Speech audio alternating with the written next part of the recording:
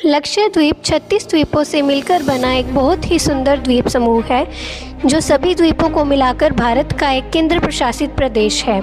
लक्षद्वीप अपनी प्राकृतिक सुंदरता और सफ़ेद समुद्र तटों और मूँगा चट्टानों के लिए प्रसिद्ध है। लक्षद्वीप के अगती द्वीप पर एक हवाई अड्डा भी बना हुआ है। तो आइए जानते हैं बंटवारे के बाद कैसे पाकिस्तान के हिस्से में जाता जाता बचा लक्षद्वीप अभी देश को आज़ाद हुए एक महीना भी नहीं हुआ था कि पाकिस्तान के प्रधानमंत्री लियाकत अली भारत से पहले लक्षद्वीप पर युद्ध पोतों के साथ अपनी सेना भेज अपना अधिकार जमाने के बारे में योजना बनाने लगे। लेकिन जैसे ही इसकी खबर भारत के तत्कालीन गृह मंत्री सरदार वल्लभ भाई पटेल को लगी तो उन्होंने भारत की सेना को वहाँ तिरंगा फहराने के लिए भेज दिया।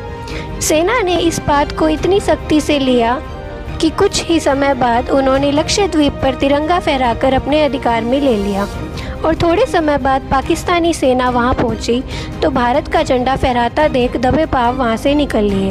तो ऐसा था हमारे और लक्षद्वीप का इतिहास। इसी तरह वीडियोस देखने के लिए हमारे फेसबुक और यूट्यूब चैनल ई समाचार को फॉलो ज़रूर करें। धन्यवाद।